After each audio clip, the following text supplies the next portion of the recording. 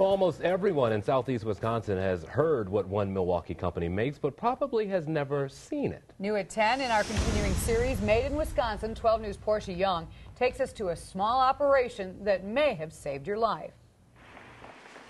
Tucked away on Milwaukee's northwest side is one of the loudest companies in Wisconsin.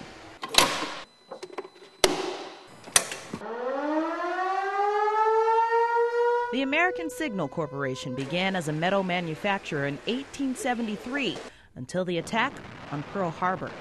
In uh, 1942, the Department of Army came to the metal fabrication company and volunteered them to uh, begin building sirens for the Pacific Theater.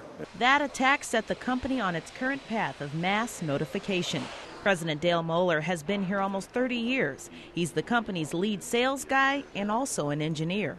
This was built in my barn, and uh, uh, the first installation was in Random Lake, Wisconsin, where I lived. American Signal Corporation makes every tornado siren in Milwaukee County.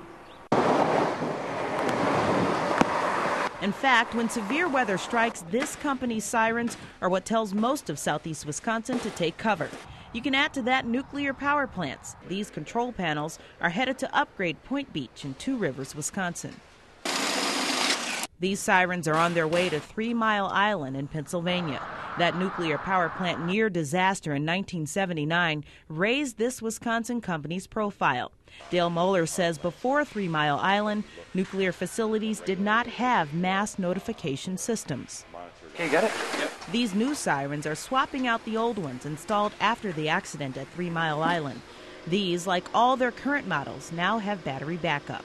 It's a small market uh, as far as the amount of manufacturers in the world. There's roughly 10 of us, uh, four of us here in the United States. American Signal Corporation is expanding its reach, now touching 60% of the Indian Ocean basin, a decision Moeller made after Christmas 2004. A lady had to make a choice between which of her two children she was going to hang on to during that tsunami and I put myself and my wife into that you know thought pattern, and I, I, I couldn't stand that.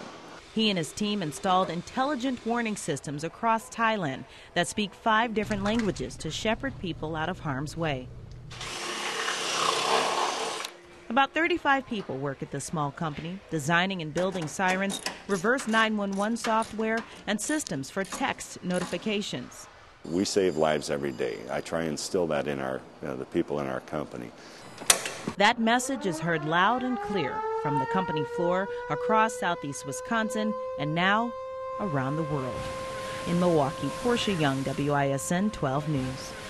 American Signal Corporation sirens are louder than jet engines, and some of the horns, like the one at State Fair, are six feet tall. They test and manufacture all their products at the plant at 87th and Bradley. To see other companies featured in our special series or to nominate a business, go to the Made in Wisconsin section of WISN.com.